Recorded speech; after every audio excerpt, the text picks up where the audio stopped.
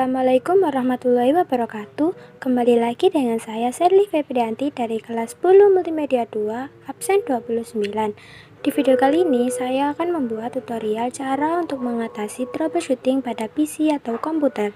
Sebelum kita mulai videonya jangan lupa like, share, dan subscribe Halo teman-teman, di video kali ini aku akan menjelaskan pengertian troubleshooting dan contohnya. Troubleshooting adalah adanya suatu masalah atau adanya ketidaknormalan pada komputer kita. Masalah komputer atau troubleshooting dibagi menjadi dua. Yang pertama adalah troubleshooting hardware. Troubleshooting hardware biasanya ditandai dengan komputer tidak dapat menyala, monitor mati, dan lain sebagainya. Sedangkan troubleshooting software ditandai dengan lambatnya kinerja komputer dan lain-lain. Selanjutnya, aku akan memberikan contoh troubleshooting komputer. Untuk penyebab dan cara mengatasinya, kalian bisa baca sendiri ya. Yang pertama adalah komputer menyala sebentar langsung mati. Kedua, komputer tidak tampil dan ngehang ketika setelah terjadi lampu mati. Ketiga, komputer menyala sebentar langsung mati, sekitar 3 detik, dan ketika dinyalakan kembali bisa hidup tapi tidak ada tampilannya. Keempat, komputer menyala tapi tidak ada tampilan di layar. 5. Komputer berbunyi pip 3 kali, pendek atau cepat. 6. Komputer berbunyi pip terus-menerus dan teratur tidak berhenti sebelum kita matikan. 7. Komputer keluar pesan error, disk boot failure, insert system disk, and press enter. 8. Komputer tiba-tiba tidak bisa membaca flashdisk. 9. CD atau DVD room sulit terbuka atau terkunci. 10. Monitor berubah-ubah warna. 11. Floppy disk menyala-nyala terus. 12. Komputer tidak mau hidup. 13. Komputer mau hidup tapi tidak mau booting. 14. Komputer mau booting tetapi selalu save mode. 15. Komputer sering hang. 16. Keyboard tidak dikenali oleh komputer. 17. Pointer mouse selalu meloncat-loncat. 18. Produsen motherboard atau MB tidak diketahui. 19. Lupa password BIOS. 20. Jam dan setting tanggal BIOS selalu berubah-ubah. 21. Menambah perangkat hardware baru tapi tidak terdeteksi oleh BIOS. 22. Melacak kerusakan card pada MB atau motherboard. 23. Pasang prosesor baru tapi tidak terdeteksi. 24. Crash setelah memasang RAM baru. 25 menambah RAM tapi terdeteksi. 26. Setelah menambah RAM, proses komputer menjadi semakin lambat. 27. Virtual RAM. 28. Monitor tidak mau menyala. 29. Monitor menjadi gelap saat loading Windows. 30. Tampilan tiba-tiba rusak dan komputer menjadi hang. 31. Ukuran tampilan monitor tidak sesuai keinginan. 32. Monitor seperti berkedip saat digunakan. 33. Soundcard baru tidak terdeteksi. Sekian contoh-contoh troubleshooting komputer dari saya. Selanjutnya, saya akan memberikan tutorial untuk mengatasi beberapa troubleshooting yang sudah saya sebutkan. Yang pertama adalah cara mengatasi port USB tidak bisa mendeteksi USB. tombol start. Nah, di sini ada komputer.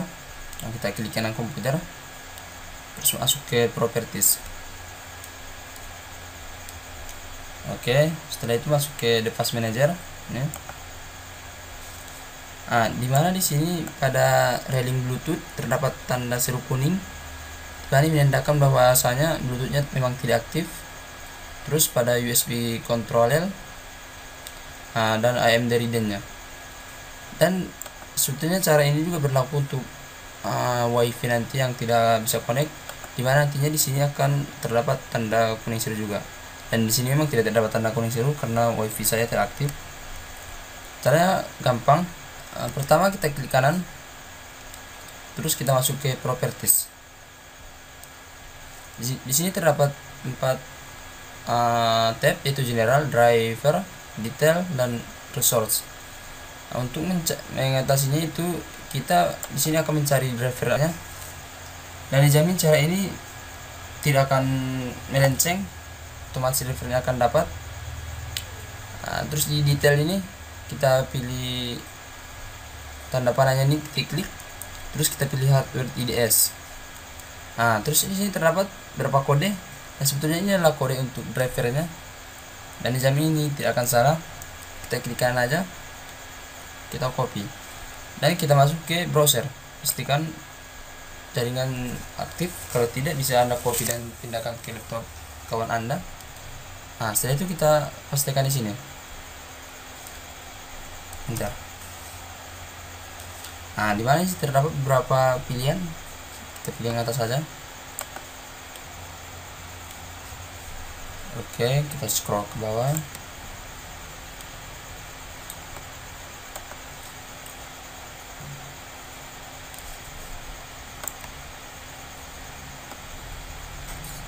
jangan dari sini.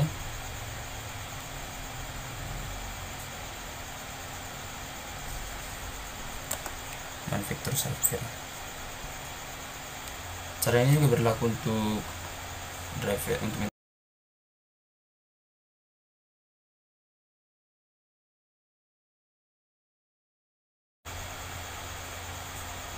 oke selesai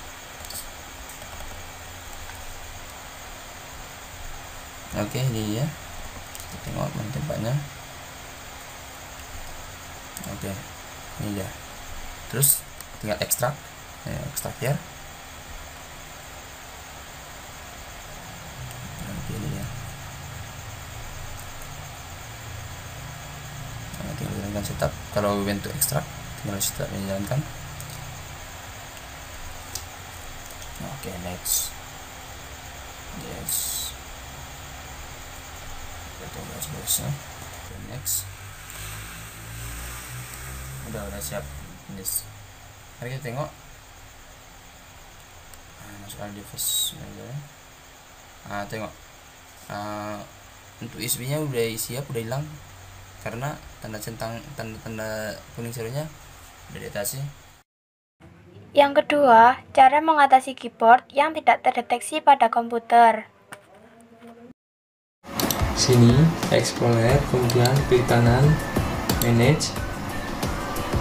Setelah itu kalian pilih yang Device Manager. Kalau sudah seperti ini, ini ada keyboard device. Kalian cari dulu di sini. Yang root ini kalian properties, power management ini jangan sampai dicentang. Jika tercentang seperti ini, kalian hilangkan aja. Bawahnya juga sama, nah jadi udah hilang semua. Ketika sudah hilang kalian tinggal cari di sini. Hit complaint device kemudian properties. Nah jadi di sini kita update driver nah ini kan cuma satu. Karena di sini sudah ada keyboard jadi kita pilih yang keyboard ini. Kemudian klik kanan. Pilih properties. Driver. Kemudian update driver. Kemudian browse my for. Kemudian pilih pick nah ini kan tadi kan ini kita pilih yang atas. USB input device kemudian kita next. Oke okay, USB input device sudah jadi. Jadi keyboard kita sudah berjalan Oke, bisa dilihat di sini. Udah bisa mati hidup, mati hidup, berarti kita udah bisa cek di start. Nah, caranya mudah sekali. Terima kasih sudah menonton. Maaf apabila ada salah kata atau salah ketik. Dan jumpa lagi di video selanjutnya. Wassalamualaikum warahmatullahi wabarakatuh.